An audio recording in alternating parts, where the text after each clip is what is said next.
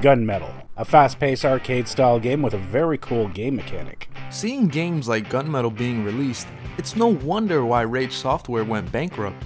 I'm Hitch from Strange Little Games, and I'm going to tell you why you should play this game.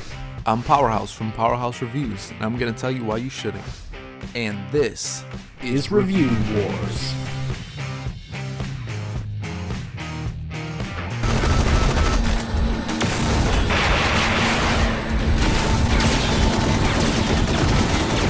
With an alien invasion in full force, you'll play as Earth's last line of defense. The gunmetal war machine is a mechanized warrior that can turn into a jet at any time. This gives the game an interesting combat strategy of turning into a heavily damaging yet slow moving robot, or a very agile hit and run style jet fighter. You and your AI allies will battle through several fast paced levels, with missions from escorts, city protection, and defeating giant battle cruisers. To keep things fresh, new weapons are added in every level, and with the odds stacked against you, the battles are exciting and challenging.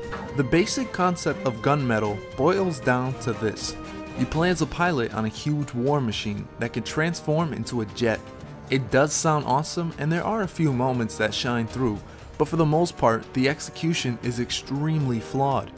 The game is divided up into many short levels, minus a couple of missions with the game, most of them consist you defending your allies.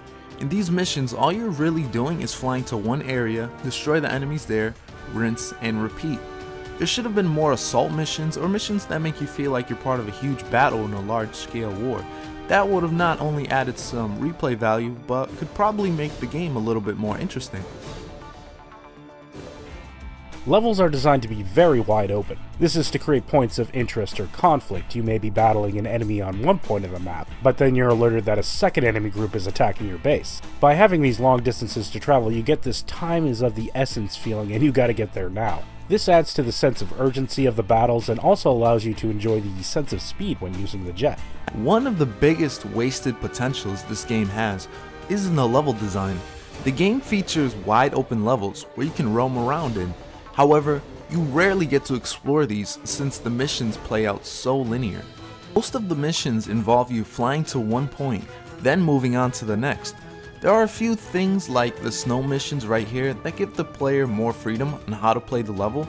More non-linear missions would have really benefited the game in the long run, and definitely give it that much needed replay value. This game also appeared on the original Xbox, so its creation did have a joystick in mind, which I used when I played. Arcade style games always feel better when you use one of these things. Both keyboard and joystick can be configured for your personal comfort and is always an appreciated feature. And the controls are great and responsive, you especially notice it at moments when you're about to crash into the ground and pull out in less than a second impact. You need good controls in a game like this, and this one does not disappoint, especially with the joystick. Controls can make or break a game, and here they demolish at least one half of this title. The game is an arcade style shooter, so the controls are easy enough to understand. The mech controls fine with the keyboard and mouse, but the jet controls horribly. It is definitely designed with a joystick in mind, which I haven't had one in ages. The problem with the keyboard and mouse is how it turns rapidly when you move the mouse. Pressing left and right on the keyboard does a barrel roll, which feels extremely awkward, especially when I'm trying to turn. This makes it unnecessarily difficult to aim the shot, especially when there are multiple enemies close by. I end up having to fly far away and then come back just to give myself a better chance of destroying the enemies. Now this is probably a game you're only going to play once, and you know what, that is perfectly fine. I had a good time when playing it, and that's really all you need sometimes. It's not too long of a game either, but sometimes you don't have to artificially inflate the length. Gunmetal knows when to stop and it ends at pretty much the right time. You get your fill, but it doesn't stuff you. Gunmetal is an extremely short game and doesn't offer much replay value. It took me exactly one sitting to beat this game. Once you beat the game, that's it. Sure, you can replay some of the older levels and try to get a better time, but that's literally beating a dead horse. There's nothing left to do, so there's no reason to do the same thing over and over again for an already repetitive title.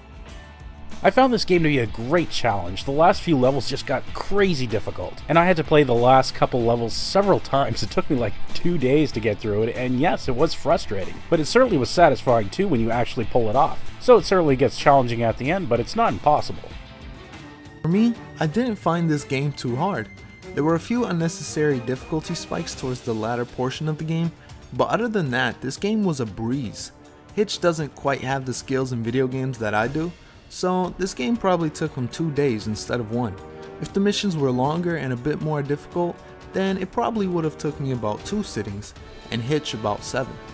With its arcade style combat, massive scale battles, and transforming robots, Gunmetal is a little gem of a game and I'm glad I gave it a go. I was really surprised. Rage Software has always struggled with creating high paced shooters such as Expendable, and just like that game, Gunmetal isn't worth recommending.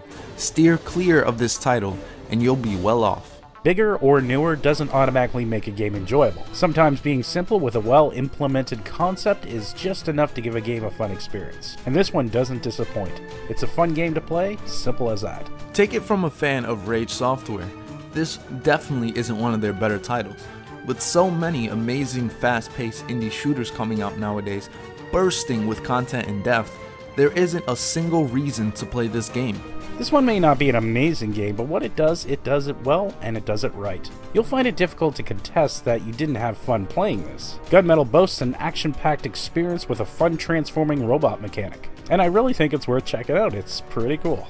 Robots are cool, and jets are cool. The concept of transformation is nice, but this doesn't hide the fact that this game provides a shallow experience and is sorely lacking in all areas. My recommendation? Play one of the Transformer games. Or better yet, play one of the old school Armored Core games from the PS1 and PS2. Those games were awesome. Or even Dynasty Warriors Gundam if you want something fast paced and more modern.